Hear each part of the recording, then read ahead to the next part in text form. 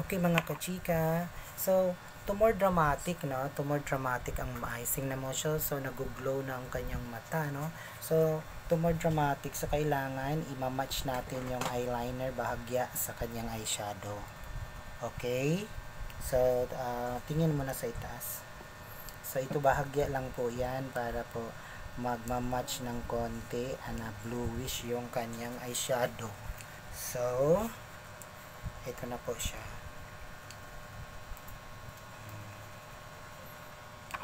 So, ito po yun ha.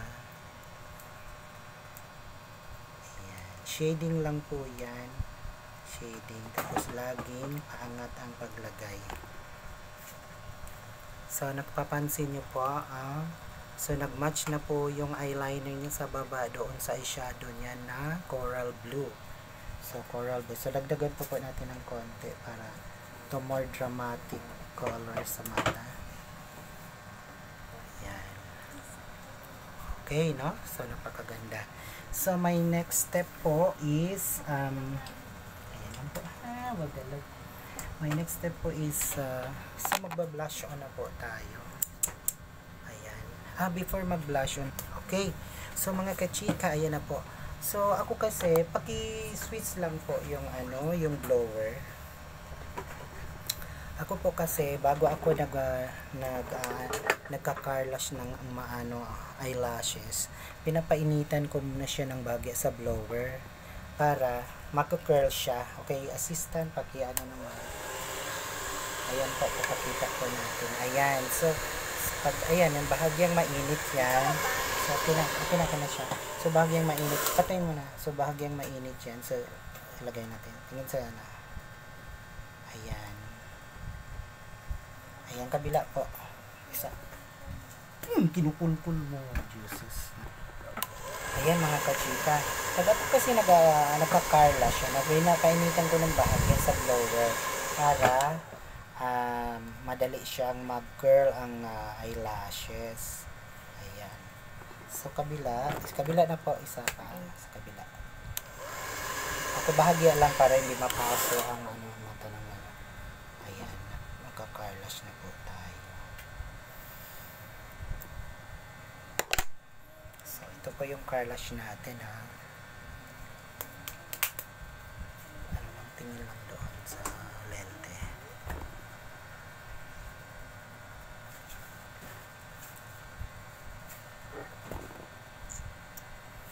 So, ayan naman mga kachika. Ayan na. So, tingin lang doon. Taas. So, tingin sa itaas, model.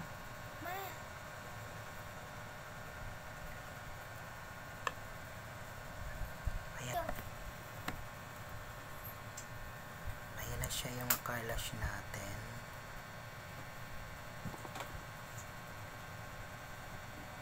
So, hindi po kasi ako masyadong gumagamit. Since, since natural, uh, uh, commercial makeup lang naman to at pwede siyang makipag lunch date or dinner uh, lunch date. So araw po ang makeup. So hindi po ako masyad hindi po ako gumagamit sa aking client ng false eyelashes. Sa susunod nating vlog abangan po ninyo ang paggamit po ng false eyelashes kung halimbawa meron tayong aatin ng party na gabi. Ayan. So isa pa po ah So, pag may naatinan tayong party ng gabi, pwede tayong gumamit ng false eyelashes. So, abangan nyo po ang next vlog ko, ang paglalagay ng false eyelashes ng party sa gabi. So, ikakarlas po natin uli. No? Kakarlas po natin uli. So, optional, kung gusto nyo pong painitan uli, pwede naman. So,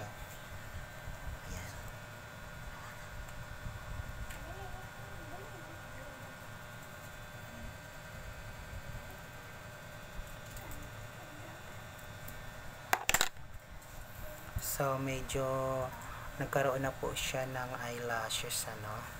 So, ngayon, ito na tayo. Ah, dito na tayo sa pagbablush on. So, ayan. Ayan na ka na siya, no. So, magbablush on na po tayo. So, ito po yung blush on na ginamit natin. Neyman Marcos po ito. Shout out po kay Tita Asing Asusina Banges of Green Hills. Siya po yung nagregalo ko sa akin ng Neyman Marcos. So, so ito po yung one set ng Neyman Marcos. So, sobrang ganda po ito. Ayan po, kumpleto po yan. From eyeshadow, uh, lipstick, eyeliner, lahat na po yan, mga blusher. Ayan. So, thank you po sa compliments ng aking kaibigan na si Asusina Banges. Ayan po. So, pag nag-blush on po tayo mga kachika, si Tuit po na itong pong sa tenga natin, dito po yan manggagaling. Na? So, cheekbones po tayo. So, cheekbones. So, dito po, ito po, ito po yung uh, uh, pinaka-guidelines natin pag nagba-blush on parang nanggaling ka dito sa tenga na to ayan po ha dito po manggagaling so dito po manggagaling yan. So parang ganon. So para po ma-achieve natin ang cheekbones ng ating model. Ayan. So nakikita nyo na no? So nagkakaroon na siya ng cheekbones. Ayan. So tenga. Balabas. Yan, tenga yan.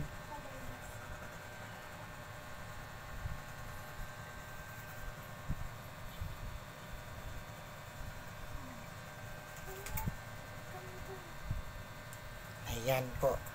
So, tingnan mo po, no? May contour na ang kanyang pisngi, no? So, may contour na ang kanyang pisngi. Unlike kanina, may contour na may laman siya. Ayan, kikita nyo po yan ha. Look at the models, cheekbones. So, dito po, manggagaling sa tenga ang pagbablush on. Ayan na po yung dalawang blush on natin. Take a closer look, mga kachika. So, kikita nyo po yung uh, transformation. So, ngayon, pag ang ating model, like kagaya sa ating model, medyo prominent po ang cheekbones. Kung gusto niyo medyo lalong lumiit ang mukha, so, meron po tayong gagamitin. Pwede po natin itong gagamitin na pampa, pampa liit ng mukha. Ayan. Para hindi siya yung ayan siya. So, nagkakaroon na siya ng contour, oh. Kasi ito dapat darker yan. So, ito naman, gaganon mo din sa kabila. Ayan. Ayan siya. So, kung prominent ang cheek uh, jawline ng ating uh, model or uh, customer or client, so paliliitin po natin ang jawline. Yan na po yan. So, so gandang-ganda na ang effect. So, my next step po, syempre, hindi pwedeng walang lipstick, no? So, since black po ang damit niya, pwede rin po tayong uh, sister ng kulay ay ang sa coral blue ay ang lilac, no? So, lilac is kapatid din po ng blue at saka pink. Since ang uh, lipstick para mas magandang dramatic ang lips ng, ng customer or model ilalagyan natin ng lip liner ang kanyang kanyang lips para ma-emphasize ang pagiging heart shape no? So kailang enhancing lang po itong aking makeup uh, tutorial ngayon. Very enhancing no?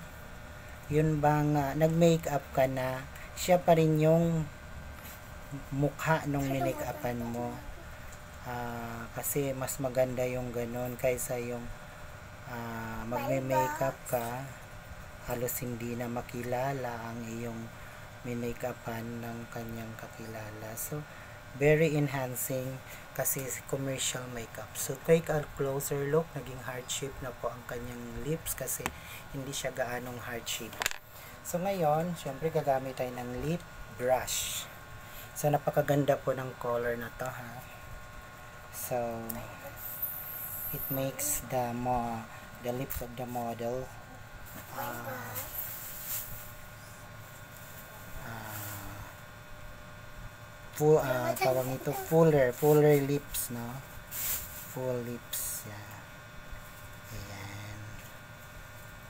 Or gagawin natin pout lips.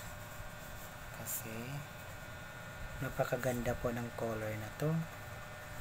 Actually ano to eh ah, lilac ang tawag no? Dark lilac ang shade ng ating lipstick. So ang ginagamit po natin is courtesy of uh, Ate Asing of Green Hills. So this is uh, this is all Neyman Marcos product. So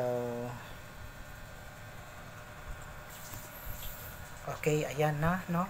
So almost finish na po yung ating makeup So, ito na ha, tatapusin na natin ang ating lipstick ng ating model. So, kasi ako I like uh, family of violet, blue. So, yan po yung mga paborito kong color. Kaya, ito yung napili kong color sa aking model.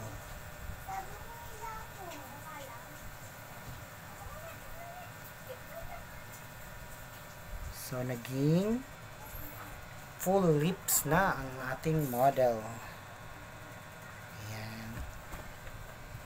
Since ang lips niya ay thicker, no? Hindi siya yung maliit na uh, kasi may lips na sobrang liit. So, hindi po natin kailangan na maglagay ng lip shiner sa isang thick lips, no? Thicker lips. So, hindi pa natin kailangang maglagay ng uh, lip gloss or lip shiner kasi uh, full lips na po oh. full full po uh, full lips po ang shape ng ating model. So yan na po yan. Yan na po yung finished product. So a little bit uh, retouch. So uh, kailangan nating i-retouch ang ating uh, mag maglalagay po tayo ng pressed powder para lalong ma-emphasize ang ganda ng ating makeup. So, pressed powder. So, ang pressed powder po, dito po yan sa mga baba ng ating mata. Yan. At dito po, para lalong magkaroon ng contour. Tingin sa itaas. Contour ang ating mukha ng model. So, kailangan po natin maglagay ng pressed powder para uh, maalis po, ma, hindi po masyadong halata yung ating blush on. All is natural. Okay, ayan mga kachika, ayan na ha. Nakita nyo naman ang transformation ng ating model. So, since nagkaroon na tayo ng pressed powder, to avoid uh, pangingintab no? To avoid uh, pangingintab ng mukha ng ating model. So ayan na po siya. Press press na press ha? So pag press na press fresh tingnan. Ayan. So pag press na press so another retouch. So so nakakontour lahat yan Ayan, take a closer look, model. Ayan siya. Ah. So, makikita nyo ang transformation ng aking model. So, just a little while, i-iron ko ang kanyang buhok. Paplansyahin ko lang para ready to go na siya sa kanyang pupuntahang lunch date. Okay? Action. Oh, wag na ingay. Ayan. Ayan mga kachika, ayan na yung finished product ng ating model. So, syempre, hindi lang sa mukha ang ating uh, uh, makeover, syempre, kasama ang buhok. Ayan. Ayan na po yung finished product ng ating model.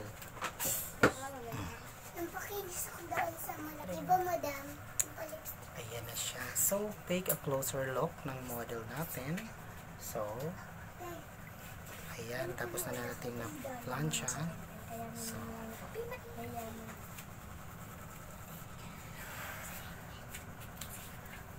Ayan po, ayan ha. So, take a closer look for the finishing touch. Kasama na ang hair. Ayan. Ayan. Bye-bye mga kachika. Sana may natutunan kayo sa aking makeup tutorial. At ah, salamat po sa panonood. Salamat po sa pag-subscribe. Pakisabi na rin sa inyong mga kaibigan na i-subscribe ang Amor by Nosa. Please like and share. God bless. Keep safe and God bless.